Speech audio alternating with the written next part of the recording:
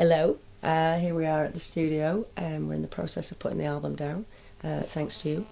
Um, so, by way of a little thank you to you guys who have made this possible, um, we put together a video from the Union Chapel for you. Um, so, happy Christmas and peace at this time.